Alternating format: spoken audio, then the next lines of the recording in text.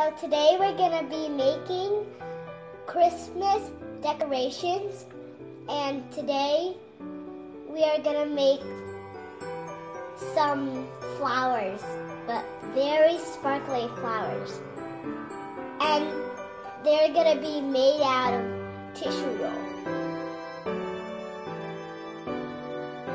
So we're gonna be needing a ruler, a pencil, scissors, glitter, and glue, and any kind of tissue roll you have around the house.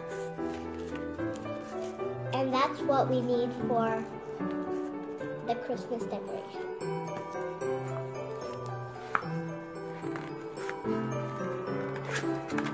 We're gonna need to flatten it out so we can draw the lines.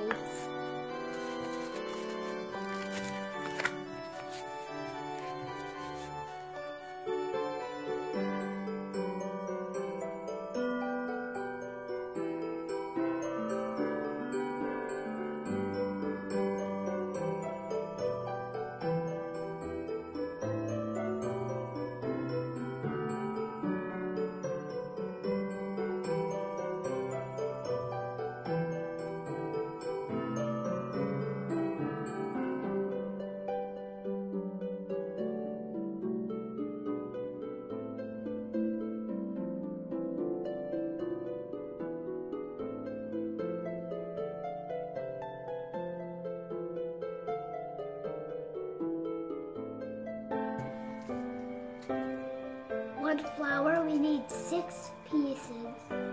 This is how we do it. We're gonna be needing this glue, and we're gonna put it on the edges here.